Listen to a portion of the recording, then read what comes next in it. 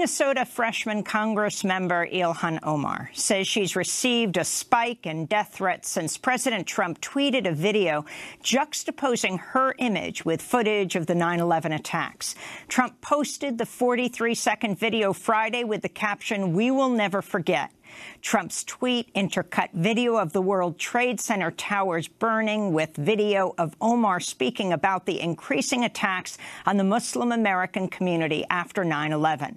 Omar was speaking at a Council on American Islamic Relations event last month. Far too long, we have lived with the discomfort of being a second-class citizen.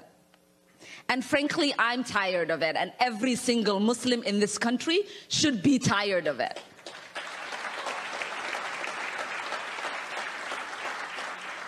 CAIR was founded after 9-11 because they recognized that some people did something and that all of us were starting to lose access to our civil liberties. Congressmember Omar's comments were originally taken out of context and circulated by right-wing media, from the Daily Caller to Fox News. In a statement, Congressmember Omar said, quote, since the president's tweet Friday evening, I've experienced an increase in direct threats on my life, many directly referencing or um, replying to the president's video. This is endangering lives. It has to stop, she said in New York City.